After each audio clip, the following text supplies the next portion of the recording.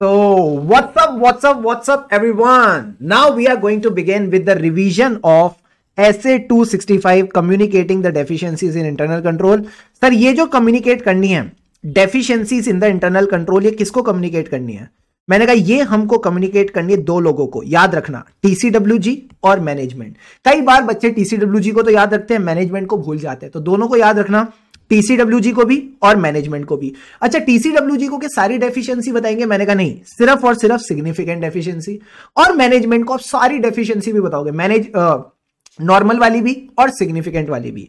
तो कई बच्चों के मन में आया डाउट सर डेफिशिएंसी क्या होता है? What is the meaning of deficiency in internal control बड़ा आसान है। ये या तो जो इंटरनल कंट्रोल का काम है, वो अपना काम ठीक से नहीं कर रहे, या फिर इंटरनल कंट्रोल जो होने चाहिए, वो नहीं है। मतलब जो आपने इंटरनल कंट्रोल्स को डिज़ाइन इंप्लीमेंट और मेंटेन किया है, किस चीज़ के लिए किया था? For prevention and detection and correction prevention detection correction of misstatements in a timely manner वो अपना प्रिवेंशन डिटेक्शन एंड करेक्शन नहीं कर रहे। या फिर, जो कंट्रोल कहीं ना कहीं होना चाहिए which is necessary for prevention detection and correction of the misstatements in timely manner that is missing तो either of the case is treated as a deficiency तो सर एक बात बताओ, इन डेफिशिएंसीज में से हमको कैसे पता कि कौन सी सिग्निफिकेंट डेफिशिएंसी है?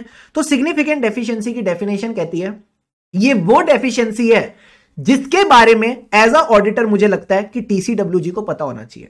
मतलब ऑडिटर की प्रोफेशनल जजमेंट में this is sufficiently important to merit the attention of TCW तो कहीं ना कहीं ऐसी डेफिशिएंसी जो ऑडिटर के नज़रिए में टीसीडब्ल्यू को पता होनी चाहिए। अब इस पे आईसीआई आपसे सवाल पूछ सकता है, बताओ क्या? सर आईसीआई हमसे पूछ सकता है कि कल को मुझे कुछ डेफिशिएंसी मिली मैं कैसे पता करूँ कि ये जो डेफिशिएंसी है is this a significant deficiency और नॉट यानी मैं क्या मैटर्स को कंसीडर करूँ to decide whether a deficiency और a combination of deficiency is a significant deficiency तो मैंने कहा था सिंपल सी बात है, चार पाँच बातें देखेंगे। क्या चांसेस है कि इस डेफिशिएंसी की वजह से मटेरियल मिसस्टेटमेंट हो सके? अगर लगता है इसकी वजह से मटेरियल मिसस्टेटमेंट होगी it is a significant deficiency इसी तरह अगर ये डेफिशिएंसी बाकी इंटरनल कंट्रोल्स में भी डेफिशिएंसी क्रिएट कर रही है, यानी वो कहावत है ना, एक गंदी मछली पूरे तालाब को गंदा कर देती है। हाँ सर तो अगर ये कोई ऐसी डेफिशिएंसी है which affects other deficiency internal control it is also significant deficiency तीसरा पॉइंट क्या था? मैंने कहा वॉल्यूम ऑफ़ एक्टिविटी अगर आपकी जो इंटरनल कंट्रोल की डेफिशिएंसी है, वो किसी ऐसे बैलेंस शीट आइटम या ऐसे पीएनएल आइटम के साथ एसोसिएटेड है जहाँ पे वॉल्यूम ऑफ़ एक्टिविटी ज़्यादा है। फाइनेंशियल स्टेटमेंट की अमाउंट ज़्यादा एक्सपोज है to this deficiency then it is a significant deficiency मैंने कहा सारे पॉइंट हो गए. इसी तरह से अगर आपको लगता है this deficiency in internal control increases the chances of loss और फ्रॉड कहीं ना कहीं सक्सेप्टेबिलिटी ऑफ़ लॉस और फ्रॉड है। ये लॉस और फ्रॉड किसमें हो रहा है? एसेट्स में हो रहा है। Even through liabilities we can do frauds and all तो उसका भी आपको ध्यान रखना पड़ेगा। And last point is importance of control क्या मैनेजमेंट कंट्रोल्स को इंपॉर्टेंस दे रही है? अगर इन कंट्रोल्स को इंपॉर्टेंस नहीं दे रही then also it is a significant तो समझने के पॉइंट ऑफ़ व्यू से आई थिंक इतना काफ़ी है। मेन आते हैं लर्निंग पे। कैसे याद करे थे पॉइंट तो मैंने आपसे बोला कि डेफिशिएंसी की जगह वर्ड यूज़ करो डिस्ट्रैक्शन दुनिया में भतेरी डिस्ट्रैक्शन हैं। भतेरी बहुत सारी। तो जनरली ऐसे बहुत सारी को बोलते हैं भतेरी।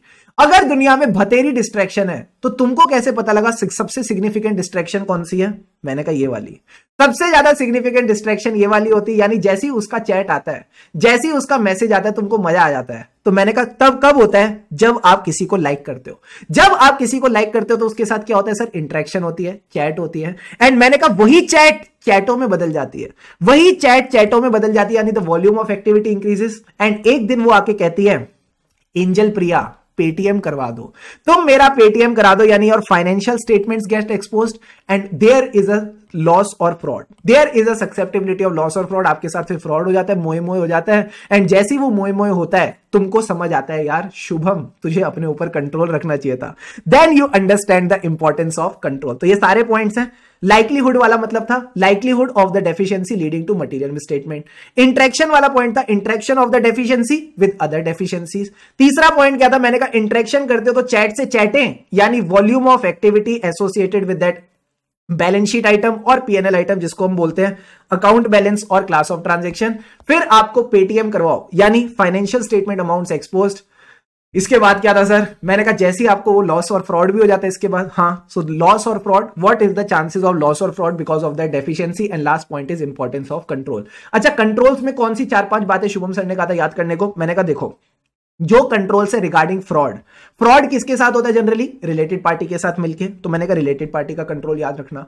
रिलेटेड पार्टी जैसी कौन सी ट्रांजेक्शन होती है? Which are not at arms length price यानी outside normal course of business and last point is controls of period and financial reporting process sir ये पीरियड एंड वाले पे कंट्रोल्स हमें क्यों देखने हैं? क्योंकि generally end of the period ही आपको एक्चुअल फिगर पता चलती है पीएनएल की. तो जो ऊपर नीचे करना है पीएनएल के साथ वो आप पीरियड एंड पे करते हो तो इन कंट्रोल्स को देखना ज़रूरी है। Got it got it sir तो ये एक बहुत इंपॉर्टेंट क्वेश्चन है, यही क्वेश्चन मैंने आपको क्वेश्चन ऑफ़ द डे में भी दिया था। Please make sure you are doing it properly got it sir अब सर एक बात बताओ, आपने हमको बोला कि मैनेजमेंट को सारी डेफिशिएंसी बतानी है और टीसीडब्ल्यूजी को सिग्निफिकेंट डेफिशिएंसी क्या यही बात लिखी है? हाँ यही बात लिखी है। मैनेजमेंट को सिग्निफिकेंट डेफिशिएंसी बतानी है अनलेस इट इज़ इनअप्रोप्रिएट इसका क्या मतलब था? अगर तुमको चोरी के बारे में बताना है, क्या तुम चोर को बताओगे? मैंने कहा, नहीं. तो अगर आपको लगता है सिग्निफिकेंट डेफिशिएंसी इसी वजह से क्योंकि मैनेजमेंट ने कोई फ्रॉड करा है मैनेजमेंट के साथ दिक्कत है तो शायद फिर तब बताना सही नहीं रहेगा। तो unless it is in appropriate to communicate to management आप अदरवाइज़ सारी डेफिशिएंसी उसको कम्युनिकेट करोगे। क्लियर है? क्लियर है? तो इस वाले टॉपिक को बस रीड करके चलना और कुछ नहीं है। अब इसके बाद आता है हमारा favourite topic sir favourite topic क्या है? Return communication of significant deficiency to TCW TCWG. ये टॉपिक ने क्या कहा? इस टॉपिक ने कहा, जब भी आप डेफिशिएंसी बताओगे तो आपको क्या सिर्फ़ डेफिशिएंसी की डिस्क्रिप्शन बतानी है या ये भी बताना है इससे क्या हो सकता है? सर, ये भी बताना इससे क्या हो सकता है? यानी what can be the potential effect ये क्यों बताते हैं हम? ये बताना इसलिए ज़रूरी है ताकि कल को कोई आपको लाइटली ना ले ले। कल को टीसीडब्ल्यू जी आपके इस लेटर को लाइटली ना ले ले, वो आपको इग्नोर ना कर दे। So make sure you are describing the deficiency also explaining the potential effect along with that आपको उनको कुछ इंफॉर्मेशन देनी पड़ेगी ताकि उनको इस कम्युनिकेशन का कंटेक्ट समझ आए। उनको समझ आए, आपने क्यों बताया? तो अच्छा जल्दी से बताओ क्या क्या बताएँगे? सबसे पहले तो उनको ना क्लियर कर देंगे। क्या क्लियर करेंगे? हमारा काम है फाइनेंशियल स्टेटमेंट पे ओपिनियन देना। वेरी गुड तो उनके मन में क्या सवाल आएगा? जब तुम्हारा काम फाइनेंशियल स्टेटमेंट पे ओपिनियन देना तो कंट्रोल्स क्यों चेक करें? तो उनको समझा देना। हमने अपने लिए कंट्रोल्स को चेक किया है। यानी हमने सिर्फ़ उन्हीं कंट्रोल्स को चेक किया which are relevant to financial statement ठीक है? क्यों चेक किया? So that we can design our audit procedure जो हमारे टेस्ट ऑफ़ कंट्रोल्स है एंड बाकी ऑडिट प्रोसीजर है सब्सटेंटिव वाले, उनको डिज़ाइन कर सके। मैंने कहा, ठीक है। एंड फिर वो बोलेंगे, वो सोचेंगे कि तुमने हमने को सारी डेफिशिएंसी बताई। बोलना नहीं। हमने सारी डेफिशिएंसी नहीं बताई। सिर्फ़ वो डेफिशिएंसी बताई जो हमको मिली। So whatever we are communicating it is a limited communication यानी the deficiencies are limited plus these are the ones which we identified and we felt they are sufficient important to merit the attention of TCWG. ये वही definition है जो हमने significant efficiency की पढ़ी थी। तो हमने सारी नहीं बताई, सिर्फ़ सिग्निफिकेंट वाली बताई है। क्या ये बेसिक्स क्लियर है? हाँ सर तो दो बार, तीन बार इसको रीड करोगे रिकॉल करने में मेरे को लगता, कोई दिक्कत आएगी। अब आता है सर हमारा favourite topic how to determine whether there are significant efficiency मतलब अभी डेफिशिएंसी मिली नहीं है but there can be some indicators की सिग्निफिकेंट डेफिशिएंसी हो सकती है। सर ये क्या क्या इंडिकेटर थे? तो मैंने कहा, इस सवाल को ना थोड़ा सा बदल देते हैं। बताओ, किस चीज़ में हम सिग्निफिकेंट डेफिशिएंसी ढूंढ रहे थे? जल्दी से बताइए।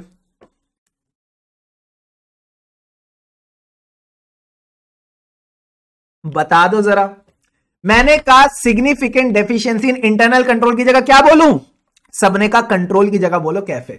What are the indicators what are the indicators of significant deficiency in café तो मैंने कहा, तुमको कैफ़े में क्या खाना था? सर, हमको रैप खाना था। तो हम रैप खाने गए but the wrap was ineffective इसका क्या मतलब है? रिस्क असेसमेंट प्रोसेस इनइफेक्टिव है। रिस्क असेसमेंट प्रोसेस इनइफेक्टिव है, यानी या तो एंटिटी रिस्क आइडेंटिफाई नहीं कर रही या उसके लिए कंट्रोल्स नहीं लगा रही। जो भी केस है it is a indicator of significant efficiency अब तुमको कैसे पता रैप इनइफेक्टिव है? तुमको कैसे पता चला जो तुमको रैप खाने को दिया वो इनइफेक्टिव है? सर, हमको पता चला क्योंकि हमें ना उस पर कुछ ग्रीन ग्रीन दिखा। ग्रीन ग्रीन को क्या बोलते हैं? फंगस यानी you detected the misstatements and this misstatement was not prevented detected और corrected by the control controls को कर लेना चाहिए था इसको ठीक बट उन्होंने इसको प्रिवेंट डिटेक्ट और करेक्ट नहीं किया। ओ अब फंगस किस पे आती है? फ्रेश आइटम पे या prior period item sir prior period item तो अगला पॉइंट यही है कि मैनेजमेंट ने इस बार कुछ मटेरियल मिसस्टेटमेंट्स दिखा रखी है जो इस साल की नहीं है, पिछले साल की जो पिछले साल की रह गई हैं। यानी prior period items which have been in the financial statements and इसके बाद सर क्या है? अगर आपको कोई प्रायर पीरियड आइटम सर्व कर रहा है क्या वो लोग इसको प्रॉपरली ओवरसी कर रहे हैं? मैंने कहा नहीं।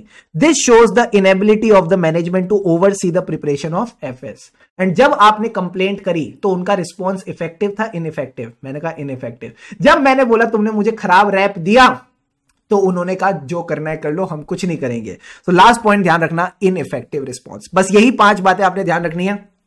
सबसे पहला क्या था? इनइफेक्टिव रैप कैसे पता चला? क्योंकि तुमने मिसस्टेटमेंट को डिटेक्ट किया which were not prevented, detected और करेक्टेड बाय द कंट्रोल। ठीक है, सर। तीसरा पॉइंट क्या था?